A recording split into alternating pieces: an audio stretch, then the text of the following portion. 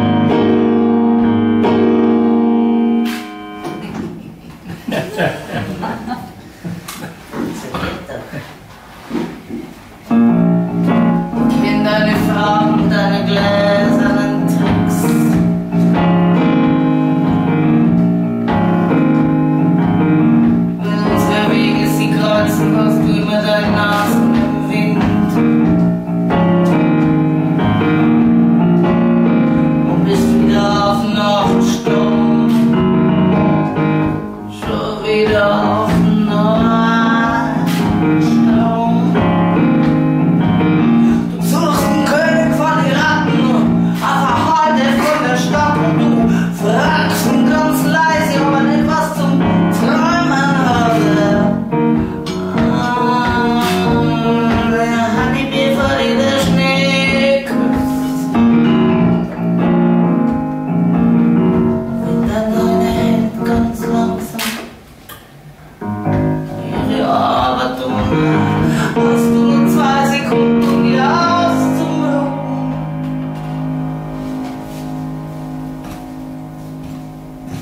done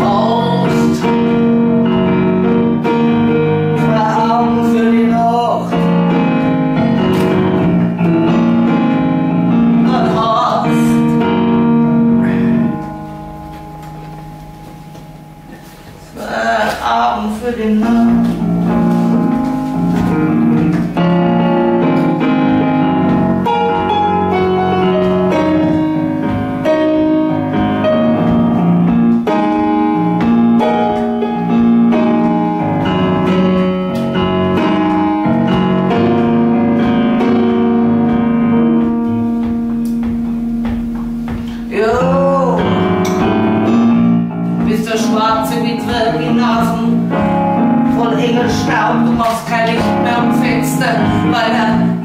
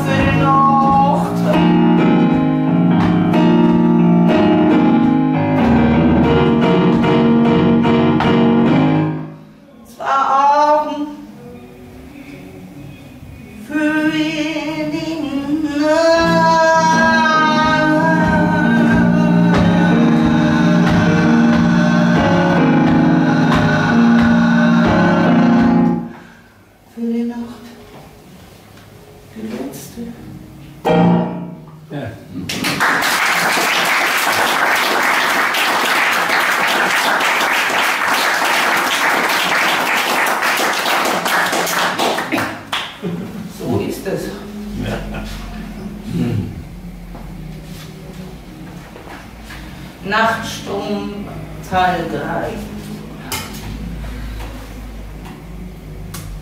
Manchmal glaube ich, dass ich schon tot bin, wenn ich von der Hurenarbeit komme. Die zwanghafte Lustigkeit, das andauernde Kassiererinnenlächeln. Sehe mich als lebte ich in einem Film, einem Seheschlechten und erst die Kundschaft. solche Drecksbeutel. Schlimmer als die Frauen. Bei der Heimat freut mich dann fast der ausländische Taxifahrer, der mir auch noch auf den Schenkel hinlangt. Bei der wenigstens kein Deutsch kann und mir keine Geschichten erzählt. Gemüse möchte ich nie sein, nicht einmal ein Kilo Tomaten. Noch bin ich nicht im Wechsel. Jetzt bin ich 62 Kilo Menschenfleisch, ein Meister der Verdrängung und lebe auf kleinem Fuß und werde immer stiller. Ein Stummer werde ich sein, am Ende ein Idiot. Denn die Dummheit gehört zu den sieben geltenden, geltenden Regeln eines guten Verdienstes. Welche sind Gerissenheit, Dummheit, Ausdauer, Raffgier, ein kühler Kopf und ein warmer Arsch. Am schlimmsten ist es, wenn es wirklich einmal lustig wird im Hurenhaus und mir dann ein Gast quer durchs ganze Lokal nachschreit. Nur keine jüdische Hast. Dann denke ich, wie grausam du Faschist. Und ich lache scheppernd, weil ich auf keinen Fall aufstehen darf und ihm eine schmieren, obwohl das das Richtige wäre.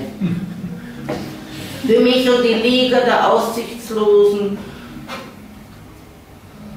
zumindest vielleicht, aber das ist knochenharte Arbeit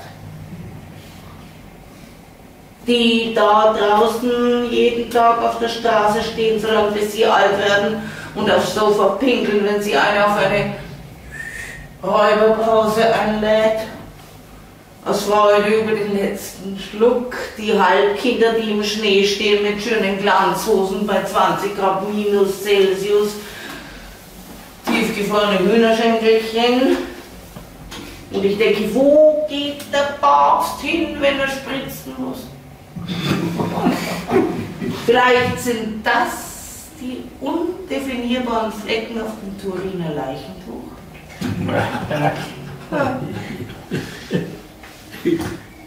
Sorry. Es tut mir leid, es ist ein wenig, aber.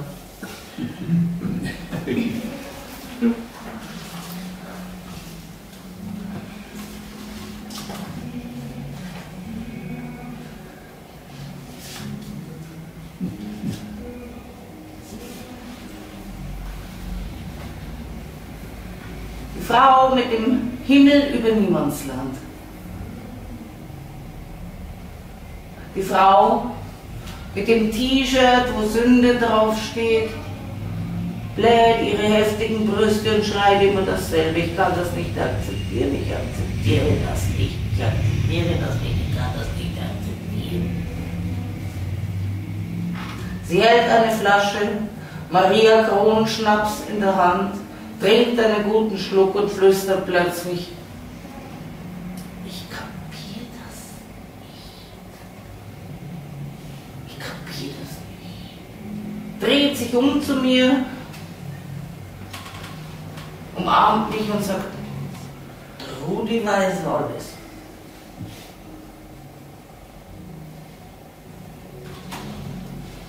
Eine dürre, hektisch kleine Gestalt ohne fast keine Zähne, schiebt sich durch die Gruppe und der Rudi steht der Delinquentin gegenüber mit seinen frischen Pulveraugen und sagt gar nichts.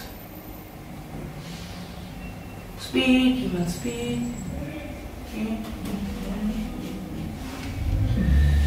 Und man weiß nicht, ob es eine Frage oder eine Antwort ist.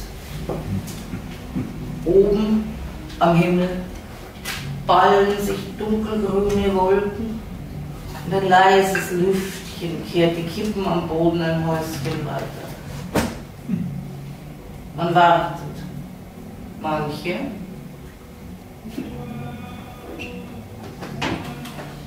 haben schon, manche noch nicht. Als endlich ein Wagen hält, kommt Bewegung in die Gruppe. Am liebsten würde man hinrennen, so wie bei den Eltern, damit man das kriegt. Aber wie bei den Eltern geht das nicht so. Auch betteln und lieb sein hat keinen Sinn.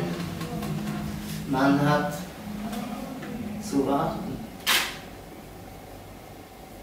Dann steigt endlich einer aus, Muskeln wie ein Viech, Bauch über die Fettness hinauf trainiert, an seiner Seite eine Entourage von eben solchen, aber etwas kleineren Trocknotüten, selbstverständliches Gehabe im Schritt und im Blick ein wenig das jüngere Gemüse mustern.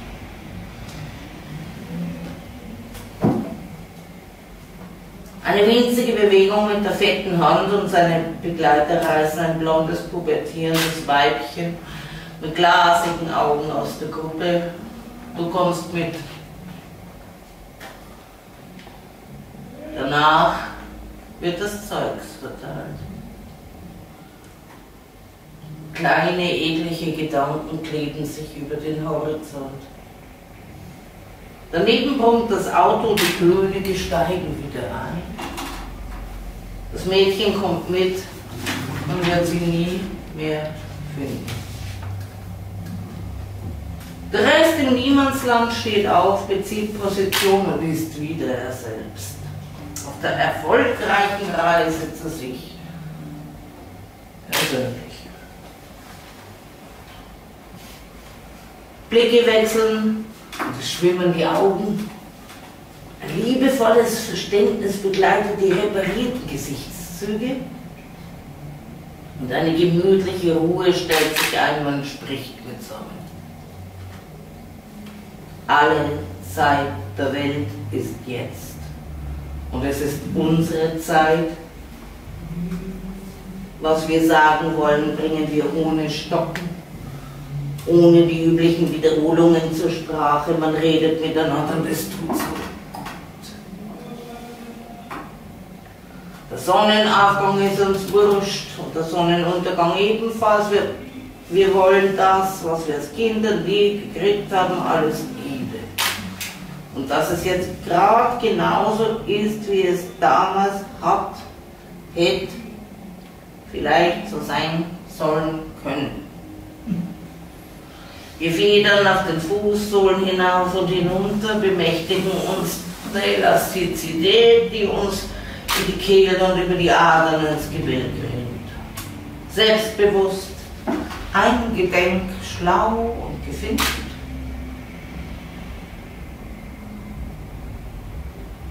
Wir sind jetzt am Leben. Und wenn der Abend hoch am Himmel thront, dann haben wir immer noch etwas für daheim.